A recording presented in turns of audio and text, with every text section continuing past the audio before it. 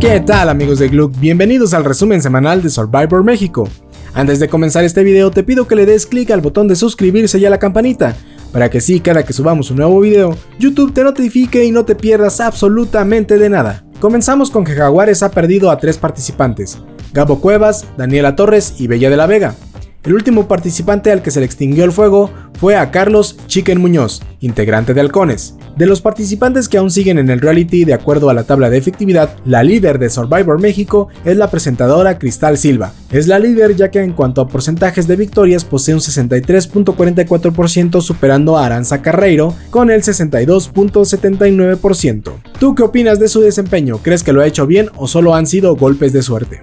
Déjame saber tu opinión en la cajita de comentarios. Por otro lado, ya nos quedó claro que Survivor no solo es una lucha para demostrar la resistencia y las habilidades físicas, sino también sobrevive el más cizañoso. Ahora la controversia gira en torno a Natalia Alcocer, quien ha sido arduamente criticada por hablar sobre la violencia de las mujeres dentro del programa y a la vez haber contribuido a ella en otros capítulos. La polémica ha escalado a tal grado que incluso los ex participantes del reality han pedido la salida de Natalia, pues la consideran un elemento muy malo para su tribu, así como la competencia en general. Uno de estos ex participantes es Gabo Cuevas, el primer eliminado de la competencia.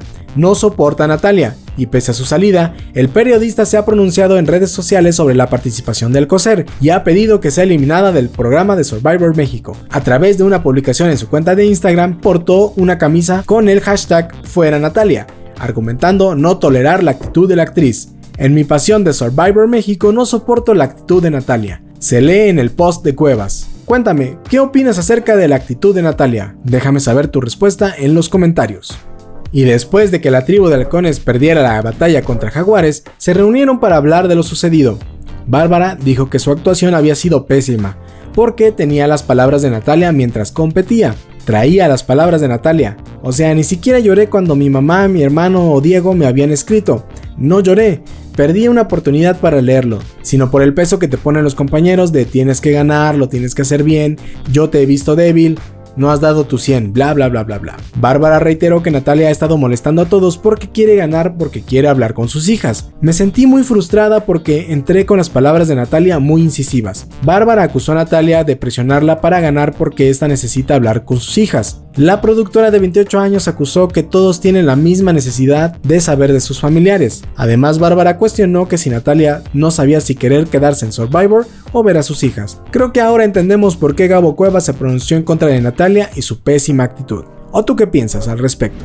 Y finalmente, este 9 de mayo, Bárbara Falconi, Brisa y Pablo Martí fueron quienes se enfrentaron al duelo de extinción para permanecer en el reality show. Los primeros sentenciados al juego de extinción fueron Pablo Martí y Brisa, quienes el viernes fueron sentenciados por el resto del equipo halcón. Por su parte, Bárbara Falconi recibió este domingo 6 votos en contra para llegar al juego de eliminación directa y tratar de salvarse en la competencia. Bárbara y Pablo de manera contundente sacaron el cuchillo del juego y obtuvieron las referencias y trataron de acomodar las piezas numéricas correctamente.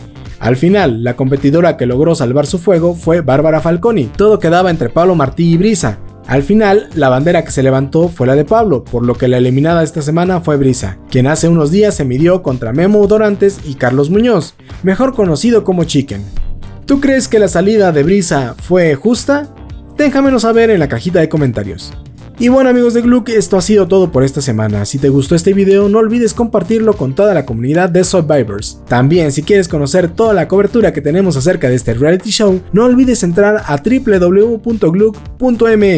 Nos vemos en la próxima.